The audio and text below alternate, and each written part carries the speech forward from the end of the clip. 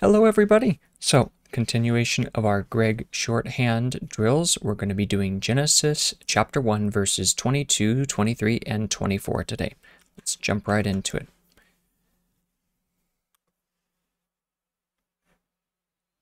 Genesis 1, 22 through 24, King James Version. And God blessed them, saying, And God blessed them, saying, Be fruitful, be fruitful, and multiply, and multiply multiply, and fill the waters, and uh, fill. And fill the waters in the seas,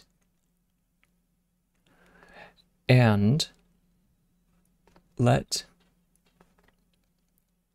fowl multiply in the earth.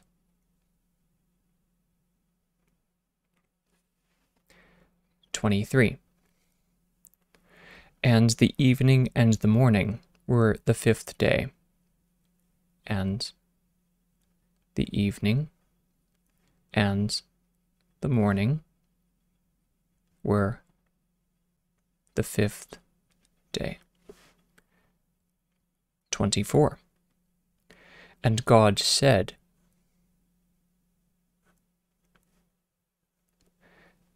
Let the earth, let the earth bring forth the living creature bring forth the living creature after his kind.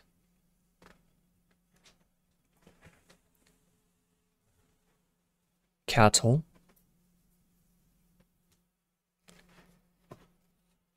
and creeping thing creeping thing and beasts or and beast of the earth after his kind.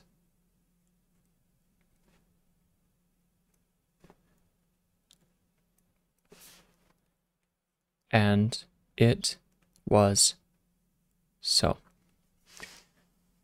Genesis chapter 1, verses 22 through 24. And God blessed them, saying, Be fruitful and multiply, and fill the earth in and fill the waters in the seas, and let fowl multiply in the earth. And the evening and the morning were the fifth day. And God said, Let the earth bring forth the living creature after his kind, uh, cattle, and creeping thing, and beast after his kind, after, and beast of the earth after his kind. And it was so. Genesis 1 22 through 24. Thank you very much for watching and have a wonderful day. Bye bye.